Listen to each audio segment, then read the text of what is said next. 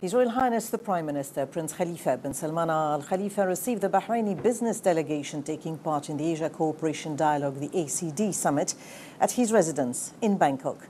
The Prime Minister directed Bahraini businessmen to work with their counterparts in Asian countries to make Bahrain a center for the distribution of Asian products in the Gulf Cooperation Council countries.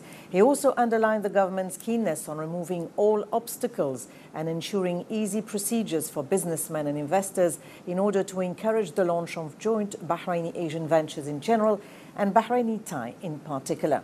The Premier stressed the need to broaden cooperation between Bahrain and Asian countries and make optimum advantage of Asian countries' huge potentials to launch strong economic partnerships that support Bahrain's development efforts and contribute to upgrading the national economy at all levels. He said that Southeast Asian countries' economic successes and their ability to set a global development model constitute a unique experience that should be emulated, calling for drawing inspiration from that experience by applying the distinguished elements on the Bahrain Bahraini economy to consolidate its sustainable growth ability.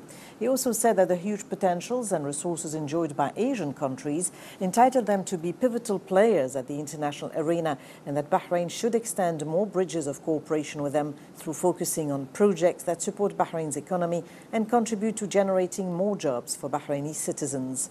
The Prime Minister underlined the government's keenness on providing all facilities that enable businessmen to launch more partnerships with investors from various countries, stressing that it will not hesitate in backing any national effort aimed at attracting foreign investments to Bahrain.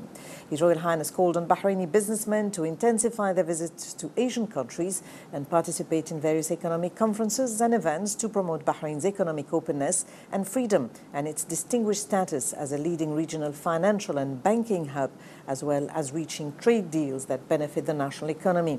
He emphasized that GCC countries should develop their economic tools and mechanisms to become an economic bloc with more influence in world trade and in the international decision-making process, affirming that GCC states are well qualified for that role and have to develop a more comprehensive outlook in the future. Bahraini businessmen thanked the Prime Minister for supporting them to set up economic partnership with their counterparts from various countries, which embodies the Premier's wisdom and far-sighted vision regarding the crucial role played by the private sector in assisting the government develop the national economy.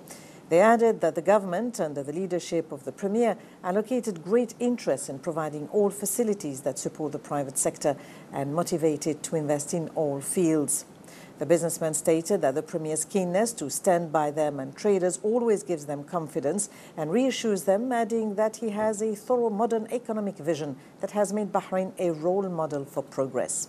They also said that they would hold meetings with their Asian counterparts on the sidelines of the Asia Cooperation Dialogue and said that they will take part in the meeting of the Joint Bahraini Thai Committee to discuss areas of bilateral cooperation and coordination in various commercial, industrial and investment fields. His Royal Highness uh, the Prime Minister has issued directives to start work in the East Sitra housing projects to build 5,000 units before the end of this year.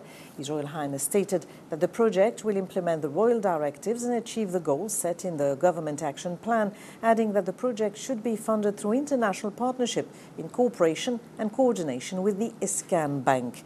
The Premier tasked the Housing Ministry to cooperate with the Ministry of Finance and other relevant parties to take the necessary procedures in this regard. He also requested the Ministerial Committee for Urbanization and Infrastructure and the Ministerial Committee for Financial Affairs and Rationalizing Expenditure to follow up on the matter. His Royal Highness affirmed that the government will intensify its housing projects and programs, being strongly resolved to bring about a positive change in the planning, construction and management of Bahraini cities to improve the citizens' standards of living.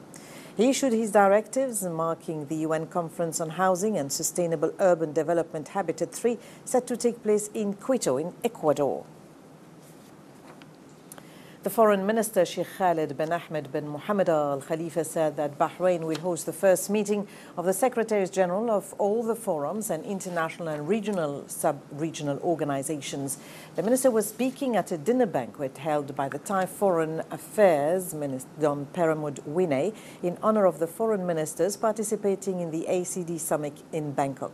The foreign minister stressed the importance of exploiting the convening of this important summit in the development of a unified Asian attitude, saying that the adoption of unilateral legislation affects this principle and violates principles of international law and the Charter of the UN. He warned the politicization of the laws is a dangerous precedent in international relations and will create chaos that will topple interstate confidence and negatively affects international cooperation, peace and security.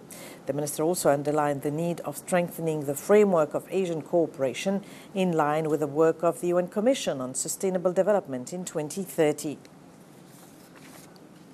The Minister of Foreign Affairs also met today with the Asian Cooperation Dialogue Secretary General Bundit Limschoon during his official visit to Thailand to participate in the ACD with Bahrain's delegation led by the Prime Minister.